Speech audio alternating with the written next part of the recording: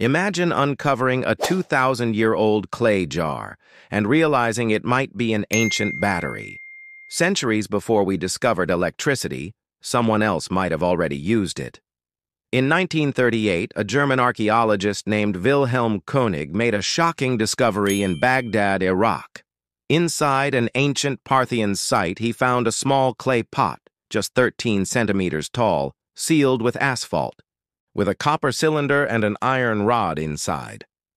At first glance, it looked simple, but when modern scientists tested it, they realized it could actually generate an electric charge.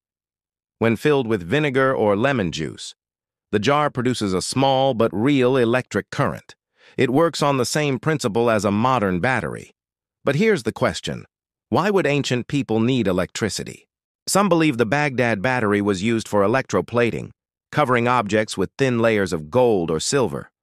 Others think it might have been used for healing rituals, sending mild electric shocks through the body, or even for spiritual experiences. But the truth is, no one knows for sure. If it really was a power source, then our ancestors understood electricity more than 1,000 years before Benjamin Franklin ever flew a kite. And that raises a bigger mystery. Where did they get that knowledge? Did it come from lost civilizations?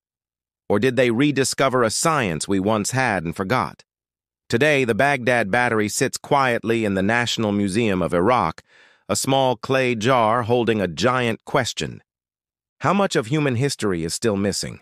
How much did we once know and lose? Because maybe we didn't invent electricity. Maybe we just remembered it. History isn't what we think. It's what we've been allowed to remember. Make sure to subscribe, like, and comment for more stories like this.